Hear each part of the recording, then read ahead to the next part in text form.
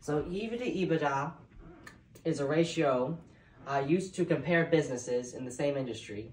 E EBITDA to EV gives us a percentage ratio, and EV to EBITDA gives us a, a multiple we can use. EV is enterprise value.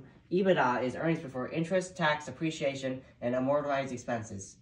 EV is market cap plus long-term debt, short-term debt, plus other obligations. The theory behind EV is it's how much it would cost to buy the entire business. So obviously you'd have to pay stockholders, uh, any debt, and um, other obligations, and then you can subtract any cash or investments the business has minus investments. Investments.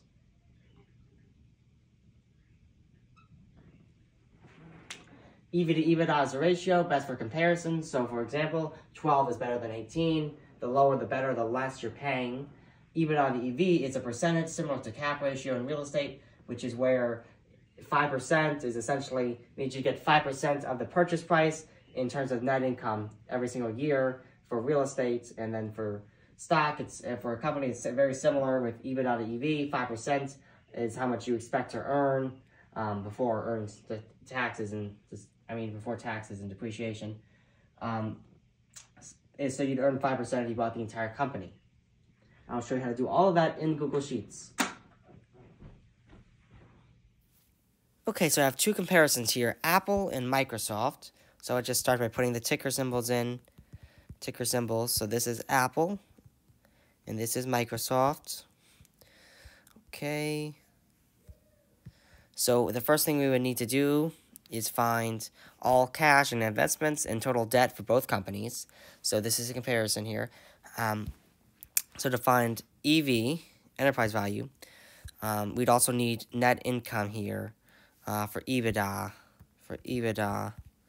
So I'll pull EPS and shares, um, and I can pull that just like this. Equals Google Finance, the cell apples in, just like this with commas, um, a comma and then two parentheses EPS, and then for shares just equals Google Finance, almost the same thing, just like that. Shares, okay, put this in accounting. And we can do the same thing over here. We can actually probably copy this same thing because it's in the same place. There we go. So that would so then we can get the net incomes down here. Net income. Net income. Then that would just be EPS times the amount of shares they have, earnings per share times how many shares are out. And we can do the same formula over here for Microsoft. Now, I didn't pull interest tax appreciation. I will pull that real quick. I'll be right so I went ahead and pulled all of those, um, all of those real quick. Oh, I didn't mean that. Go back. Okay. Um, so the first step would be to find EV and EBITDA, both of them. Let's go ahead and do that. Take this, put that over here. Okay, so EBITDA is going to equal net income. So we did EPS times shares. So that, uh, did I bring that? Yep, net income plus depreciation plus interest and taxes. Um, and that will give us that number, EBITDA. Okay. We will, and we will find that for Microsoft.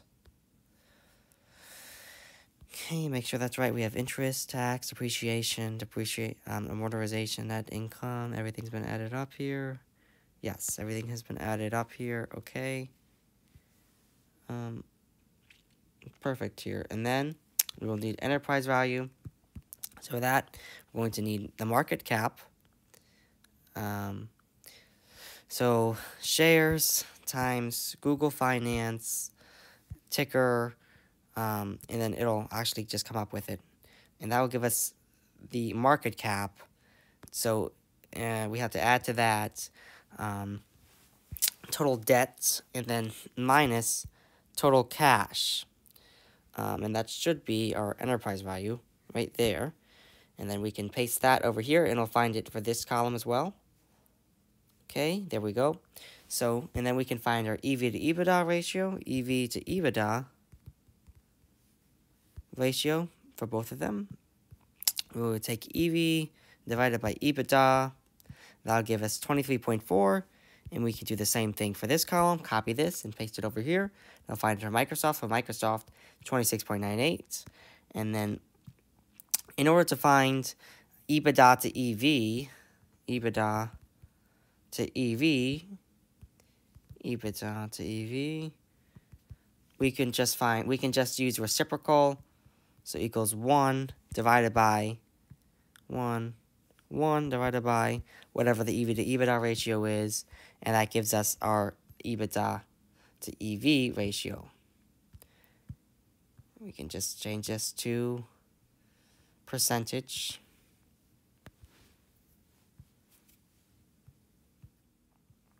And that is our comparison done. So this entire thing is done here.